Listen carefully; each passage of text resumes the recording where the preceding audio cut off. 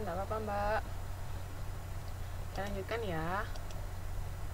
Terus ini ada juga model sederhana Maxim dan Cook ini memperlihatkan model persamaan tunggal yang berhubungan dengan variabel-variabel yang menentukan profitabilitas analisis sensitivitas dapat menjadi lebih kompleks jika beberapa persamaan digunakan untuk menentukan model profitabilitas. Ini ada P laba sebelum pajak S tingkat penjualan RC biaya bahan baku FVC biaya variabel FC fixed cost. Nah, ini juga sama kayak tadi. Dilakukan dengan menggantikan variabel-variabel input yang menentukan profitabilitas dengan nilai harapan atau expected value menentukan nilai profitabilitas dalam angka. Jadi sama sebenarnya ada yang dirubah ini ada di halaman berikutnya prosentase perubahan laba. Misalnya mau dirubah 10% itu gimana? Kalau dirubah 40% terus ini. Jadi intinya kalau ada satu yang dirubah yang lain kayak gimana? Itu ya terus ada juga model aliran kas diskontoan. Itu menggunakan model keputusan investasi kayak NPV itu kemarin sudah kita pelajarin. Ini juga sama ada perubahan. Seandainya N nya 10 VT nya 20.000 per tahun R nya 10% maka FO nya segitu. Nah untuk proyek ini sensitivitas perubahan nilai sekarang neto dapat dilihat di gambar. Nah ini loh andai kata N nya 10 terus andai kata N nya 5 andai kata N nya 15 kayak gimana? Kan? Bahwa pada tingkat diskoto 10% NPV nya 0 dilihat di kurva itu loh. Di kurva kan titik 0 kan ada di 10% andai kata 15% sudah jadi di bawah 0 jadi di bawah di bawah 10% itu NPV nya positif kan kayak 5% ini justru di atasnya 0 kan. Tapi kalau di atasnya 10% di bawah 0 atau negatif. Pahamkah? Jadi itu melihat perubahan satu variabel dilihat pengaruhnya terhadap variabel yang lain. Itu inti dari analisis sensitivitas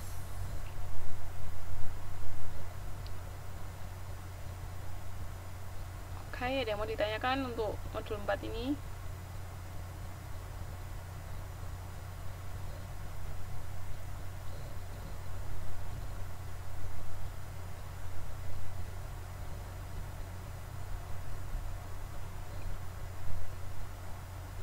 Mana mbak? Mbak mas? Mas masih biasanya cuma satu sih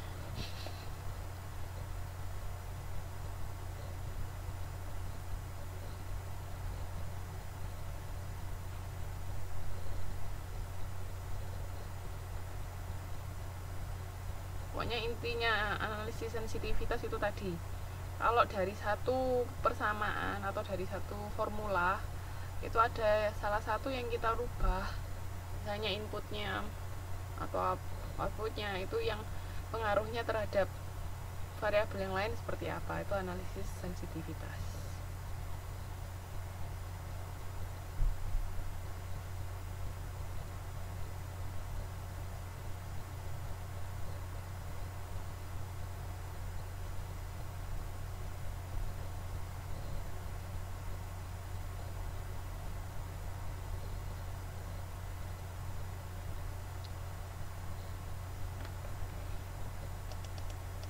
Iya, maksudnya dibandingin kalau perubahan kayak tadi anda kata di dikurangi 10% dari volume produksi atau ditambah 10% dari pro, volume produksi itu gimana perubahannya?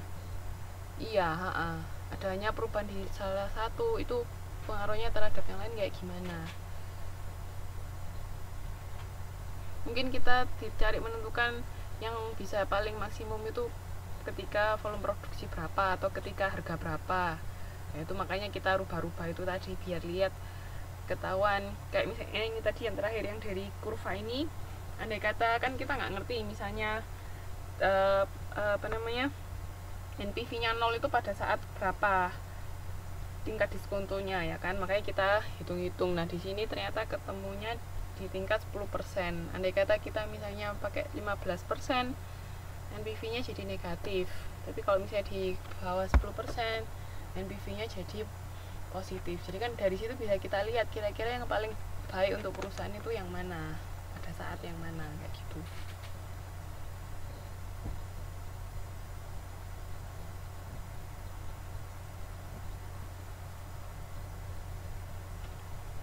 Mau ditanyakan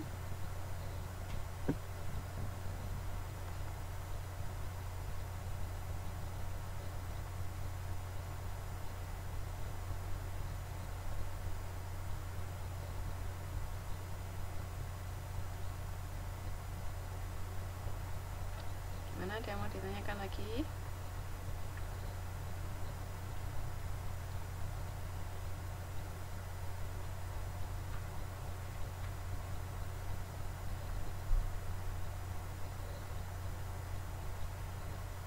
Halo halo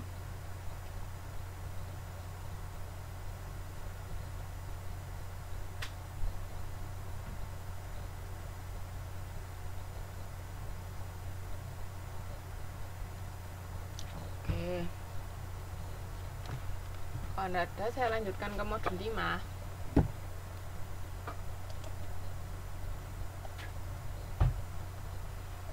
Sebentar, sebentar. Modul 5. Oi.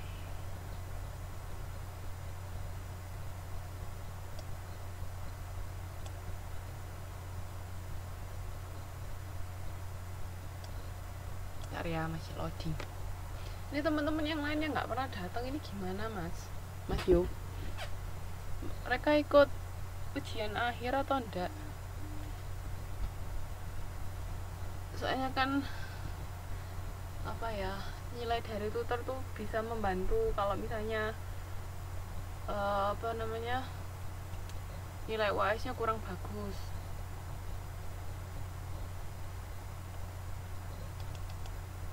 Oh, berarti mereka ikut tutor sana, tutor Indo.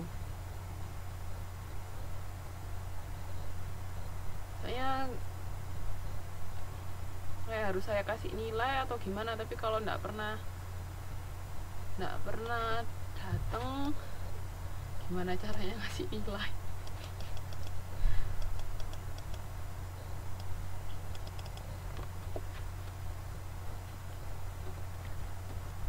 Daftarnya di sini.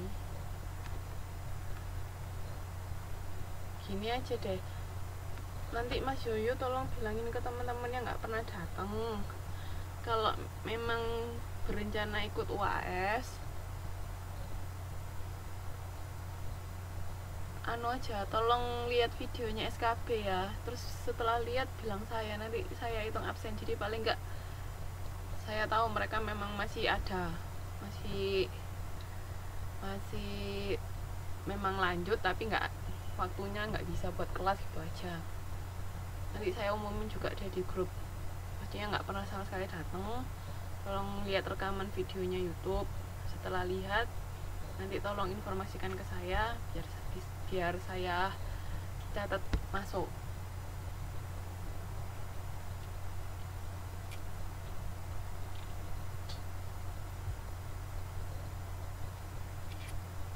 oke mari kita lanjutkan untuk modul 5 sekarang kita menuju ke penilaian aspek ekonomi nasional dan manfaat sosial. Kenapa kok kita harus menilai aspek ekonomi nasional sama manfaat sosial? Padahal kita di sini kan membahas proyek yang akan kita bikin proyek perusahaan kita sendiri. Kenapa kok kita harus juga menilai ekonomi nasional sama manfaat sosial